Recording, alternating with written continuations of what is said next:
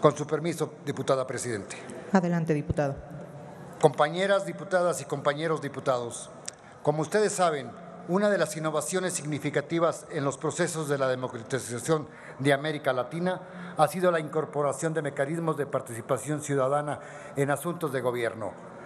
más allá de las elecciones de representantes. En México, algunas evidencias teóricas y empíricas confirman que la ciudadanía cada vez más le importan los contenidos y resultados de las políticas públicas,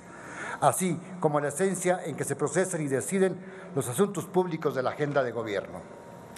La participación ciudadana es un elemento clave en el ejercicio de nuestra democracia. A través de ella, conjuntamente con el Ejecutivo, se deciden planes, programas, proyectos y, por supuesto, se diseñan políticas públicas que han de delinear las acciones de todas las áreas del quehacer económico de nuestro país.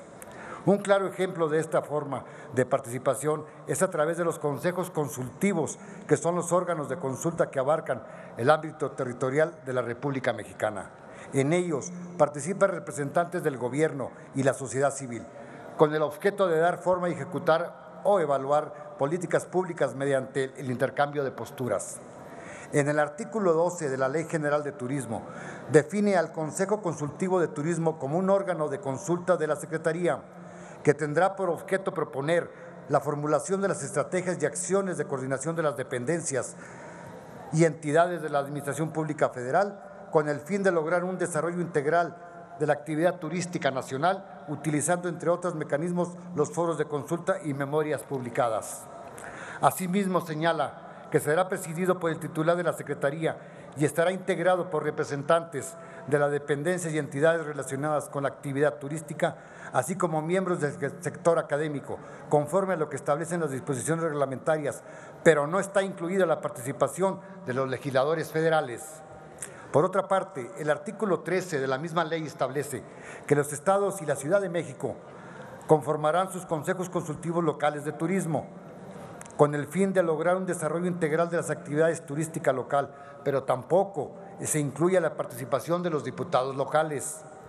Estamos convencidos que la participación de agentes externos y diferentes del sector público en el turismo es indispensable para coadyuvar al desarrollo integral del mismo.